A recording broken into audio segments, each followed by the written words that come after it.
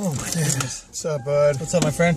You know, I was thinking uh, about something the other day. I was thinking, uh, how much would it suck to have a last name of Gracie and not be related? That would suck. Dude, imagine it's like every time you walk up to a chick or every time you're, you know, introduced or something, hey, this is, uh, this is, uh, Jason Gracie. Oh, Oh my Gracie, God, Gracie. Gracie. Wow, man, are you like a black belt? No, I'm not No. related. No, I'm, I'm the other Gracie. Oh, man, that would suck.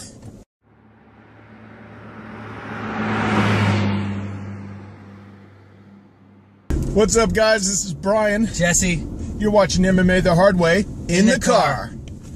Well, UFC's going back to England, Yup. and we get to see a long-awaited uh, uh, Gustafsson, another fight of Gustafsson. You know, he got so many fans when he fought uh, Jon Jones. A lot of people think he won that fight, but it is what it is. I won here. Yep. And um, this is going to be the first time the entire preliminary card is on Fight Pass. They're making Yeah. the transition. Yep. You know, Yep. no Fox Sports One.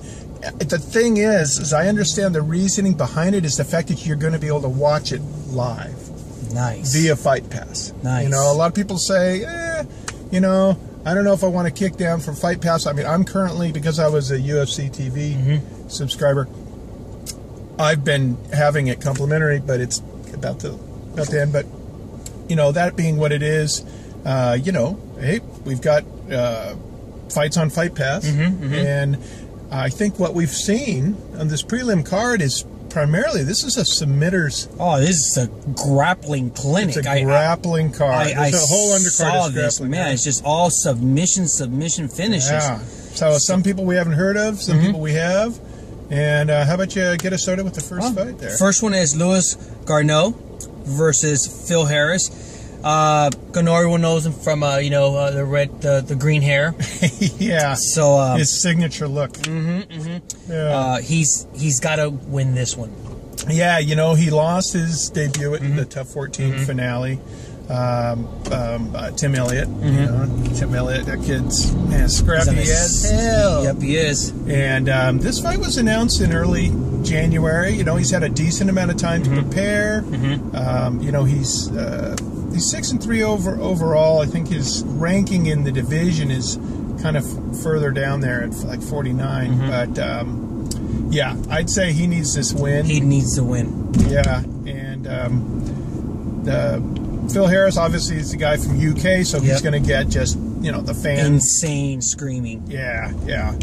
And I think he also he's coming off a loss against Lineker at uh, Fight 930 last October. He got TKO'd. Yep. So yeah, these guys are going to be hungry. They're both gonna be very, very hungry. Yeah. Um, up next, we got Igor Araujo versus Danny Mitchell. Mm, yeah. So uh, Igor, uh, Brazilian, Yep. uh, going up against a, another Brit from Mm-hmm. uh, Yorkshire. And uh, you know what I like? Uh, Danny's nickname is the Cheesecake Assassin. Man, if that doesn't strike fear into the heart of your opponent, man, man, you give me a cheesecake, I will assassinate that shit. You know when I when I saw that too, I was like, like is this for reals? but hey, you know what? If it works, it works. Yeah, you, know, uh, Danny's actually dropping down from middleweight. I think he's ranking in middleweight was like two fourteen or something, but as a welterweight, he's ranked at one eighteen. Yeah, and So, uh, he, he, you. Igor's uh, he's he's a you know he's a he's a beast. He's uh you know one of the uh, if I'm not mistaken one of uh, Greg Jackson's guys. You know so Yeah, he lost his uh, debut against uh, Alcantara. Yeah. you know, um, last October. Uh, it's a decision. Mm-hmm. You know, uh, here we go. You know, he's he's he's making the trek over to England though, so he's got an opportunity to redeem himself. yep yep. Uh, up next is uh, Roland uh, Delorme Mm-hmm. versus uh, Davey Grant. Yeah. So, gosh, Delorme. You know, you, uh, Canadian. Yep. Uh, also, uh, TUF 14, a guy that was on TUF 14. Um, in fact, he debuted at the finale, and uh, he actually is one of those guys that won his debut. Yep. He uh, submitted, uh, I think it was rear naked choke, Josh Ferguson. And um, and these these guys are both these guys are sub guys. They're they're, they're just Yeah. they're sub guys. Like I said, preliminary card, all sub guys. You know, all finishers. yeah, I, I, I, you know what we didn't do is is pick a winner. Mm-hmm. Um, the first fight, I'm actually going to go with the local. I don't think that uh, Gaudinot is Yep. going to uh, pull this one off. I I- I, got Phil that one too. Yep. I got Phil in that one too. And uh, the second one, I'm actually uh, going for Igor. I think the Brazilian is going to pull up the off- Same the here upset. too. Same here too. And this next one, yeah, and then Delorme, uh, we didn't uh, pick versus uh, Davey. Mm-hmm. I actually pick uh, Davey over off this. i I'm just think I'm- he's I'm- just a, his grappling is going to be better than Delorme's. I, I got Delorme on this one. All right, there I we got- go. We got uh, a split. And then uh, up next, Brad Scott versus uh, Claudio da Silva. That's gonna be a good call. That's a good fight Oh my right gosh, you know the here's the thing. I think is this De Silva's. This is his debut. Mm-hmm. Yeah, and people, if you don't, if you haven't figured out who this guy is, check him out. He hasn't lost a fight since his first fight back in 2007. He's he's uh, he's just a He's beast. been picking up belts. He's got a belt collection. Yep. Uh, every organization he fights in, he gets a belt, and um, he is a Brazilian killer. Yeah, he's he's he's a beast, man. He is a freaking beast. Uh, Yeah. So the thing is, he's not ranked, but that's just due to I think some inactivity. Um, and um, but make no mistake, he's one of those guys that is going to be bringing Brad quite uh, a handle to Yep. deal with. You know. I, and I actually have him on this one too as a winner. Yeah, I think I, I think he's going to uh, freak everybody out. Claudia. Uh, up next, Luke Barnatt versus uh, Matt Nilsson's. Oh yeah. So Barnatt, you know, he did really good on uh, Ultimate Fighter. Uh, what was that? Jon Jones. John George Chelson. Yep. Uh, but he was slaying dudes. Yeah, he was. You know. Um, so, you know, I think. eh, oh yeah. So he's the guy's going up against. This is one of those where everybody, this whole card, this whole prelim card is submission based. Yep. I think this is the fight that's gonna. This guy might get. Uh, Submission of the night. no, actually, I think he's gonna KO. Ooh. Uh, I I see him uh, KOing uh, this uh, the Swede. Uh huh. So what do you got on Matt? Well, basically, he's uh, you know he's making his debut, but he's also a grappling champ. That's right. The guy's got three golds. Yep. The Fila uh, grappling uh, He's tournament. He's uh he's Uh, 010, 11, and 12, 12, yep. gold medal.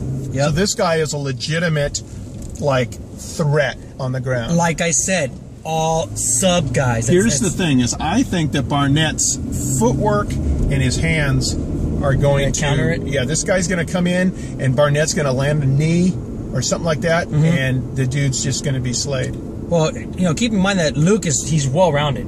He is Yeah. well rounded. I think he's going to expect a takedown, and he's just going to be, you know what? I'm going to be one of those guys that's going to keep Click. on the feet. Yeah. Click it.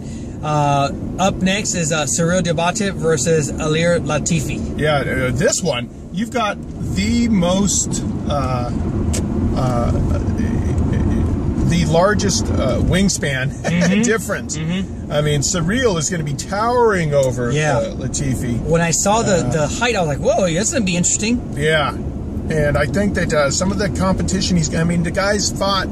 Uh, they've both fought. Uh, haven't they both fought Mousasi? Well, um, or they, they both uh, uh, Diabate's uh, lost to both uh, Mousasi and, and Manuwa. Actually uh, Gustafsson and Jimi Manuwa. Yeah. Ah, yeah, yeah, yeah, So so that's that's really interesting. You know, they're all on the same card. yeah. But uh, Cyrille's been everywhere. He's Yeah. fought in Pride. He's fought in uh, you know Cage I, I Rage. give He's fought him, everyone. You know, Latifi. Hey, you know he he came in there as an injury replacement against Mousasi. Yep. Mm-hmm. Debuted with Mousasi. You know, he was one of the unlucky guys. Yeah. Nobody was going to win that fight. Yeah, I, yeah. And so they're giving him another chance. You know, over there in Europe.